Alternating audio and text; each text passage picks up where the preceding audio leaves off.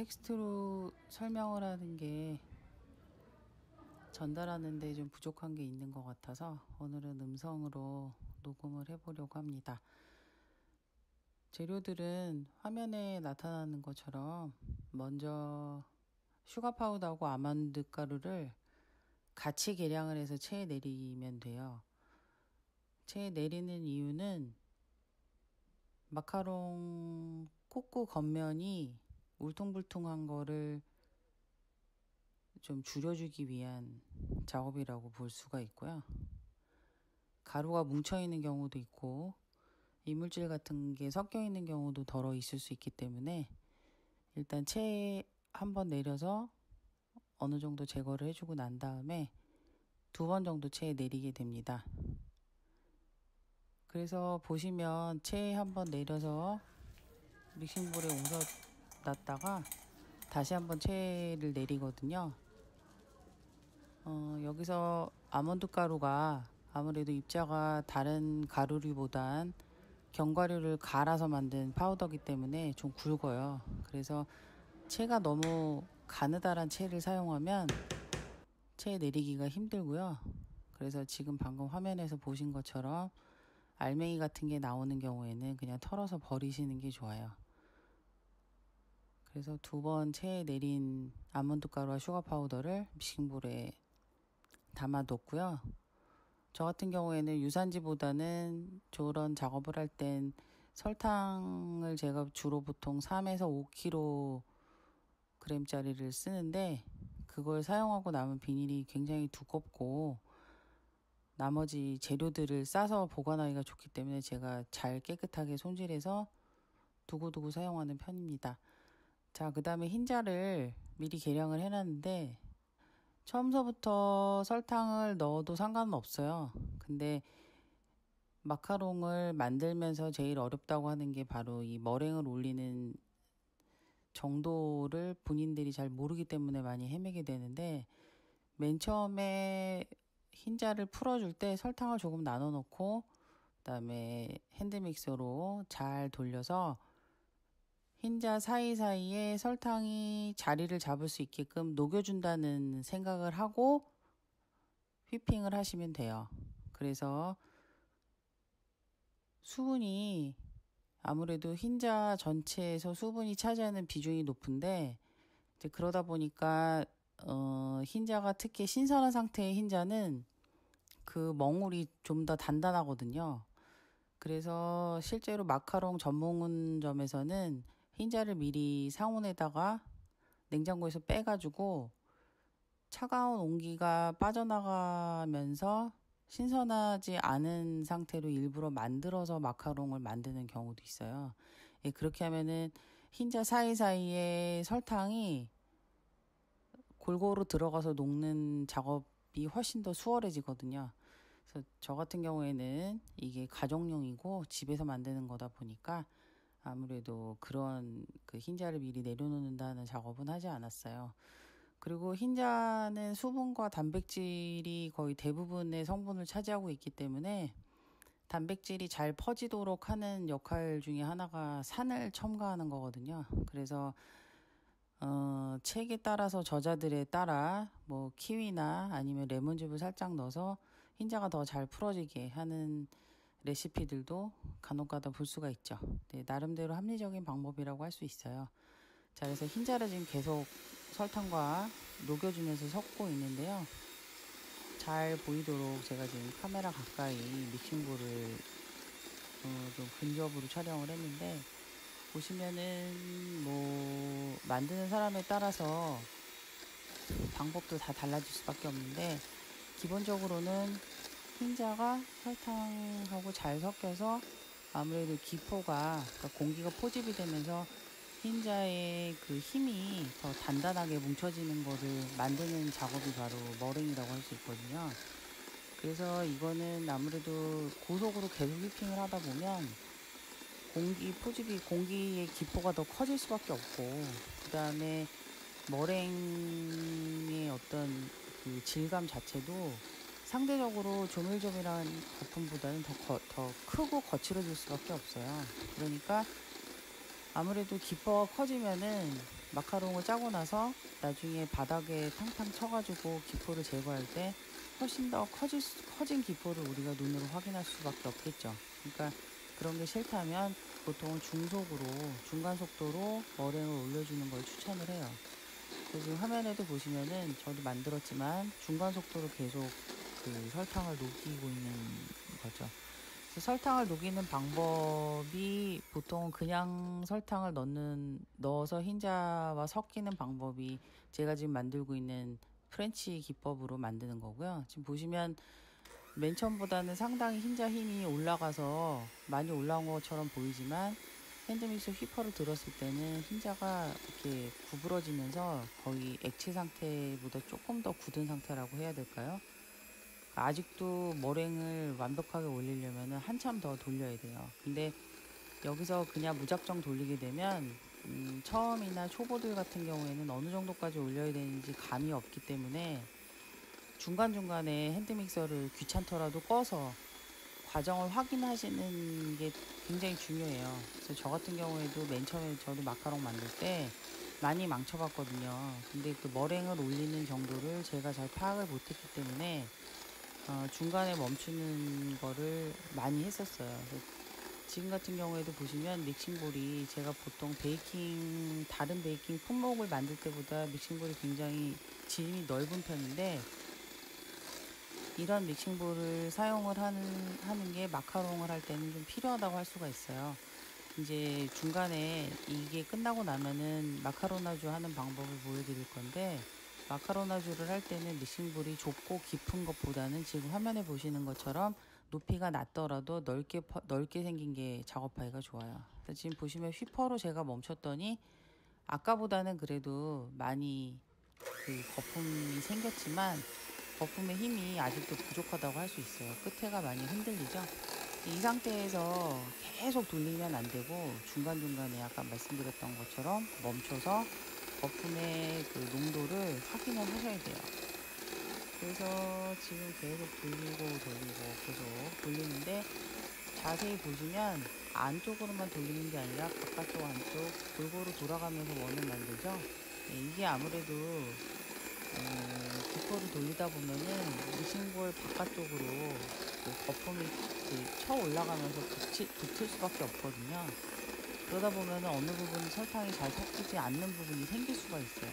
그런 거를 방지하기 위해서 휘퍼로 어, 믹싱볼 바닥, 벽, 그다음에 뭐 중간 부분들을 골고루 잘 섞어서 흰자가 좀 더 골고루 잘 설탕과 녹을 수 있게끔 휘핑을 해주는 거죠. 어, 이 시간은 보통 계란 흰자를 제가 오늘 만든 게 한 120g 정도 되는데 120g 기준으로 봤을 때 한 7분, 6에서 7분 정도는 중간 속도로 계속 돌려줘야 돼요. 지금 아까보다 상당히 그 흰자 거품이 올라온 거를 눈으로도 확인할 수가 있는데 보시면은 제가 지금 거의 기포가 많이 올라온 거를 아까 확인을 했거든요.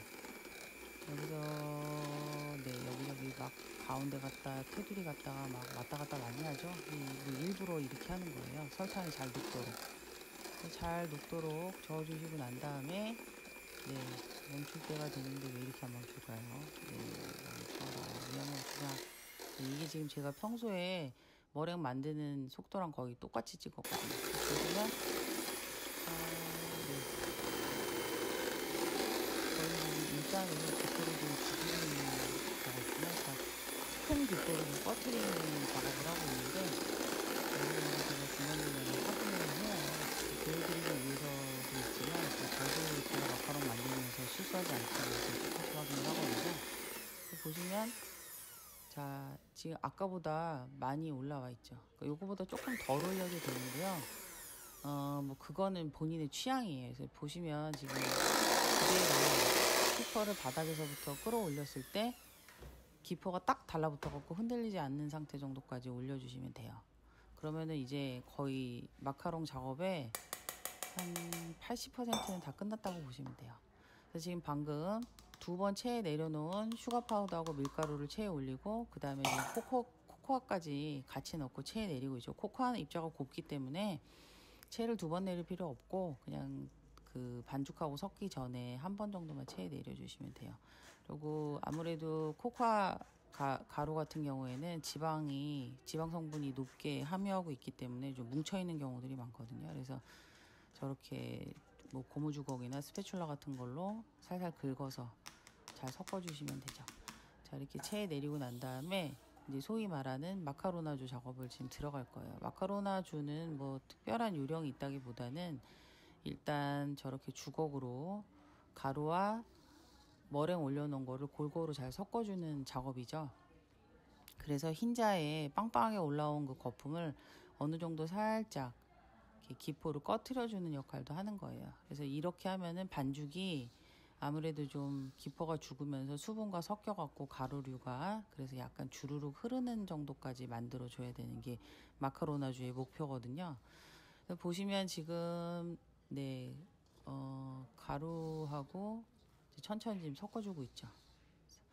그래서 보시면 이렇게 벽으로 이렇게 슬슬슬슬 붙여가면서 어, 저 흰자하고 그 다음에 반죽들을 가루 반죽들을 섞는데 이걸 무슨 벽에 뭐 몇 번 붙여야 된다, 뭐 떨어뜨려야 된다, 뭐 그런 뭐 여러 가지 본인만의 방법들이 다 있으시겠지만 어, 저 같은 경우에 저도 여러 번 만들어 봤는데, 물론 업장에서 실제로 사업을 하시는 분들에 비하면야 제가 만든 횟수가 현저히 부족하다고 생각을 해요. 근데 이거는 뭐랄까 업소용이라기보다는 가정용 마카롱 레시피이기 때문에 어, 본인이 어느 정도의 감을 스스로 만들어 보고 알, 알아야지 또 같은 실패를 하지 않을 수 있다고 생각을 하거든요. 보시면은 저렇게 섞어주면 금방 가루가 다 한꺼번에 흡수가 돼서 이렇게 주르륵 흐르죠. 저 같은 경우에 어떻게 확인하냐면 이게 그 홈런볼, 그러니까 슈, 슈나 슈게트 같은 거 만들 때도 똑같은 요령인데 반죽을 바닥에서부터 긁어 올려갖고 떨어뜨릴 때 보면은 어, 흔들리지만 이렇게 뚝뚝 떨어지지 않고 이렇게 붙어 있어야 돼요 반죽이. 그래서 그게 참 말로 설명하기가 어렵긴 한데요. 지금도 보시면은 제가 이제 아마 섞다가 네 마카로나주를 한두 번 더 해줬는데 이건 횟수가 중요하기보다는 농도가 중요하거든요. 그래서 반죽을 이렇게 들었다가 아래로 떨어뜨렸을 때 제가 일부러 흔들었어요. 이렇게 흔들면 반죽이 이렇게 완전히 뚝뚝 떨어지지가 않고 이렇게 살살살살 흐르면서 네 이렇게 보이시나요? 네 이렇게 저렇게 주르르르 흐르는데 한번 흔들면은 완전히 뚝뚝 떨어지진 않아요. 살살살살살살. 네. 약간 V자 같이 이렇게 되거든요. 조 상태가 슈 만들 때도 저거랑 거의 농도가 비슷해요. 베이킹은 사실 일맥상통하는 면들이 많아서 한 가지 아이템을 주력으로 연습하시는 것도 중요하지만 기본 베이킹은 좀 알고 약간 어려운 아이템들을 시도해 보시는 걸 추천을 하거든요. 그러니까 뭐 파운드 케이크나 머핀이나 쿠키 같은 걸 만들어 보고 난 다음에 그 다음에 마카롱 같은 경우에는 좀 제일 마지막 단계 배우는 거라고 있어요. 그게 뭐 이유가 다 있거든요. 그러니까 기타 등등 알아야 될 이론적인 내용들도 있기 때문에 보통 마지막 끝자락에 수업을 하게 되죠. 자, 아무튼 그래서 옆에 도와주는 사람이 없기 때문에 저도 혼자 작업할 때는 항상 저렇게 리터 용기에다가 짤주머니를 잘 펴서 넣고 그리고 나서 반죽을 저쪽으로 옮기죠. 그래서 머랭 안전성은 당연히 프렌치 머랭보다는 이탈리안이나 스위스 머랭이 훨씬 더 안정성이 좋아요. 그 이유는 설탕이 열에 의해서 좀 녹기 때문에 아무래도 그냥 녹이는 것보다는 더 잘 녹을 수밖에 없겠죠. 설탕이 아무래도 열이 가해졌을 때 더 잘 녹잖아요. 그래서 망칠 염려가 아무래도 이탈리아 머랭이나 스위스 머랭으로 만드는 게 더 적다고 할 수가 있어요. 근데 식감은 당연히 다 다르고요. 쫀득쫀득하고 더 뭐랄까 안정성 있는 머랭은 이탈리안 머랭이라고 할 수가 있어요. 시럽 형태로 만들어서 흰자랑 섞기 때문에. 근데 이제 초보들이 설탕 시럽 온도 맞추는 것도 어렵고 어떻게 만드는지 유형을 스스로 깨우치기는 상당히 어렵기 때문에 어디 가서 수업을 듣기 전에는 혼자서 이렇게 독학으로 해결하기에는 좀 방법이 어렵다고 할 수가 있죠.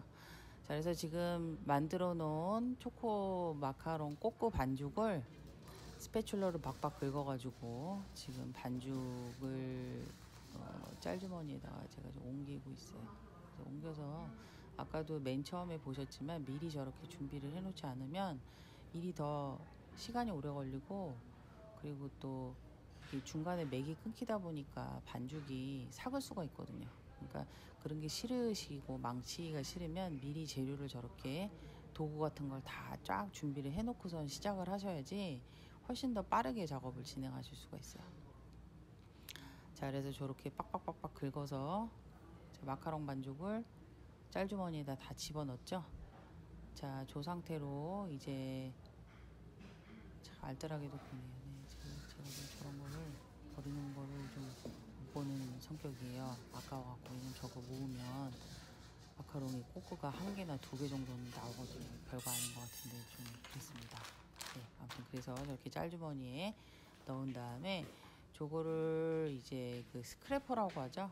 그 방산시장 같은 데 가면은 300원에서 500원이면 살 수 있는 스크래퍼가 있는데 스크래퍼로 짤주머니를 푹푹푹푹 밀어서 이제 공기를 좀 빼주는 역할을 하는 거죠. 그래서 저 보시 짤주머니 끝에 깍지 껴있는 보이시죠? 그러면은 그쪽에 이제 돌돌 말아가지고 들어가지 않게 공기가 들어가지 않게 해줬고 자 이 상태에서 이제 미리 유산지를 깔아놓은 팬에다가 네 저는 그냥 실, 제 실패지 아니고 저 테프론 시트를 썼는데 저렇게 짜주는 거죠. 그래서 뭐 원하는 크기대로 짜면 되는데 뭐 바닥에 그 뭐냐 판을 대놓고 그냥 짜셔도 되고요. 그다음에 뭐 저처럼 그냥 원형으로 짜도 되는데 아무래도 바닥에다가 그 모형을 그 대고서 깔면 모양이 아무래도 일정해지니까 더 예쁠 수가 있고요. 저 같은 경우에는 그냥 식구들끼리 먹을 거고 주변 사람들 나눠줄 거고 또 눈대중으로 여러 번 하다 보니까 대충 감이 생겨서 저 같은 경우에는 깔지 않고 그냥 짰어요. 농도 같은 경우에는 저거보다 조금 더 될 수가 있거든요. 되면은 짜고 난 다음에 그 깍지 자국이 그대로 남게 돼요. 그래서 그렇게 되면 반죽이 좀 너무 수분이 부족했구나. 그럴 땐 마카로나주를 조금 더 한 번이나 두 번 정도 더 해주면 농도가 좀 더 주르륵 흐르게 되거든요. 그래서 저 같은 경우에는 지금 적당한 농도로 잘 짜, 잘 나왔어요. 그래서 잘 짜지네요. 그래서 저렇게 크기를 대충 맞춰서 약간 얼기설기로 짜는 게 아무래도 달라붙을 염려가 없어서 더 좋죠. 저는 뭐 식구들끼리 먹을 거고 사실은 주변 사람들한테 나눠줄 때 보면은 가나슈를 채운 걸 줘도 좋아하지만 꼬꼬만 바짝 구워갖고 주면은 더 좋아하더라고요. 그래서 그냥 뭐 그냥 두루두루 나눠주기 위해서 만드는 건데 원형 깍지를 넣고 쭉쭉 짜주고 있어요. 그래서 반죽이 아무래도 뒤쪽으로 좀 밀리게 되거든요. 그러니까 그럴 때는 어, 한번 반죽을 옆에 내려놓고 아까 말씀드렸던 스크래퍼 같은 걸로 좀 쭉쭉 밀어서 그런 부분들이 그 공기가 빠져나가고 반죽만 밀착이 되게끔 밀어주면 아무래도 생길 수 있는 기포를 좀 줄이, 줄여줄 수가 있겠죠. 네, 그래서 양쪽 손을 꽉 쥐고 지금 열심히 짜주고 있습니다. 네, 아이고, 네, 저 정도로 하면은 어, 가로 30, 세로 아니지.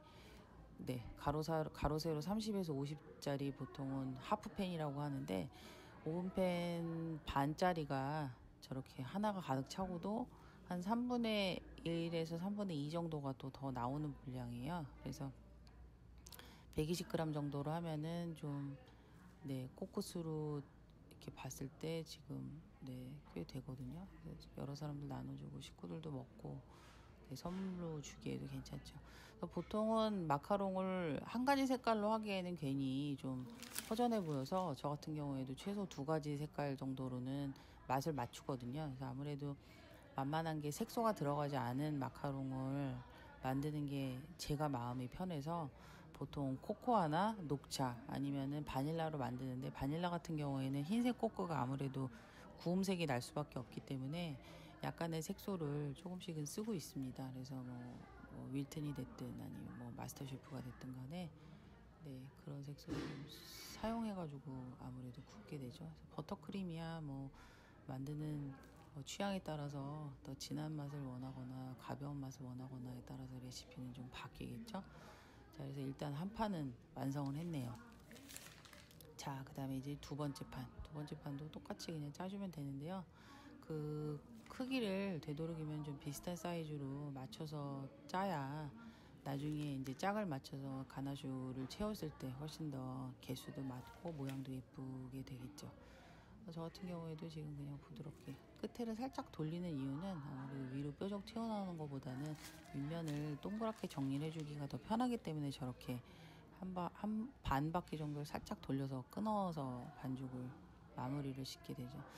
저런 거 같은 경우에도 반죽이 너무 질면 저게 잘 안 돼요. 그러니까 농도 맞추는 게 참 사실 어려운데 어, 이거는 뭐 아주 베이킹을 천재적으로 잘하시는 분들은 한 방에 성공하는 경우도 있겠지만 일반적으로는 마카롱 같은 경우엔 안 망해 보면서 잘 만들기가 상당히 어려운 아이템이라고 할 수가 있어요. 그래서 보시면은 네 대충 눈대중이지만 좀 사이즈를 얼추 맞추려고 네 나름대로 신경을 써서 짜고 있는데 네 뭐 뭐 아무래도 기계가 짜는 게 아니라 사람이 짜는 거다 보니까 모양이 좀 들쑥날쑥할 수는 있어요. 네, 뭐 집에서 만든 건데 어떻습니까, 그죠? 나가서 돈 주고 파는 거라면야 문제 삼을 수가 있겠지만 선물 줄 때는 사람들이 아무 소리 안 하고 굉장히 고마면서 먹는 아이템이 바로 마카롱이라고 할 수 있겠지요. 자, 그래서 저거는 스크래퍼로 지금 옆에서 좀 반죽을 밀어주고 있는데 화면엔 잘 안 나오네요. 네. 자, 그래서 반죽을 쭉쭉쭉쭉 밀어 펴서 최대한 그 남은 반죽 아까우니까 잘 짜서 마카롱 꼬끄, 그러니까 마카롱 껍데기를 꼬끄라고 하잖아요. 그래서 꼬끄를 지금 지금 짜주고 있는 작업을 영상에서 보고 계시네요. 자, 이렇게 해서 밀면 상당히 많이 나와요. 생각보다 많아요. 아마 하나는 더 짤 수 있을 것 같은데요. 네.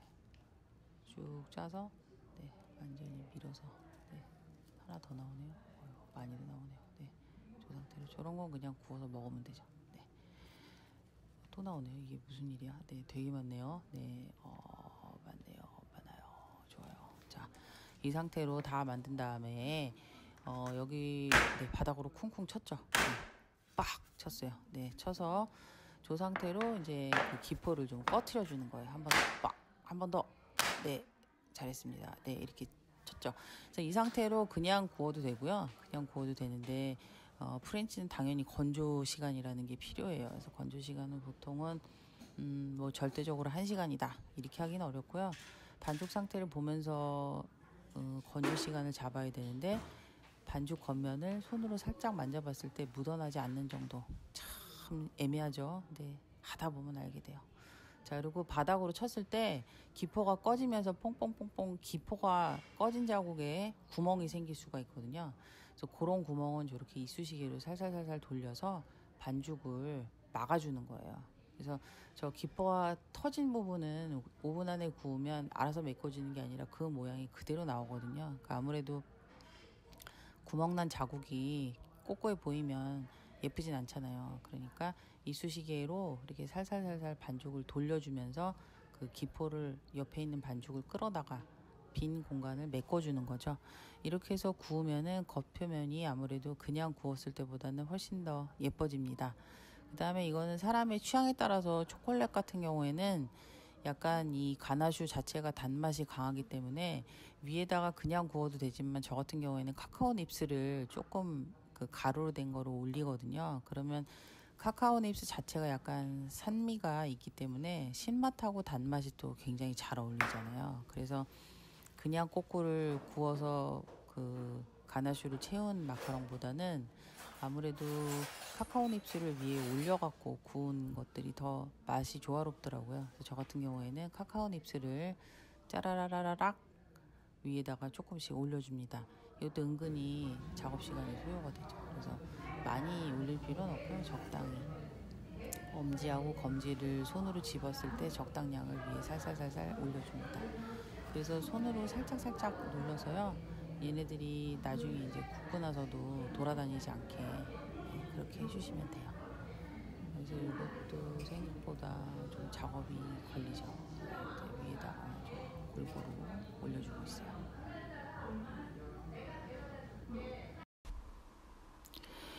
자, 그래서 이 부분은 좀 제가 속도를 높였는데요. 뭐 카카오 닙스 올리는 부분이야. 뭐 특별한 요령이 필요할 게 없으니까 그래서 조금씩 나눠서 올리는 장면이 지금 들어가고 있네요. 네, 저렇게 조금씩 올려주시면 됩니다. 그래서 아무래도 이게 그냥 굽는 것보다는 아무래도 이게 올라가 있는 게 훨씬 더 예뻐요. 그리고 네, 살짝살짝 굴러다니는 부분들은 제가 이쑤시개로 살살 부드럽게 눌러주면서 잘 붙어 있게 해주고 있죠. 자, 이제 거의 다 완성이 되었습니다. 그쵸? 네, 뿌듯하네요. 자, 이 상태에서 어, 건조를 시키고 난 다음에 예열을 충분히 해놓은 오븐 상, 오븐에서 150도에서 한 15분에서 17분 정도 구우면 완성이 됩니다. 자, 그리고 가나슈를 만들어서 그 마카롱을 완성하는 거는 제가 다음에 다시 한번 보여드릴게요. 그럼 맛있게 드세요.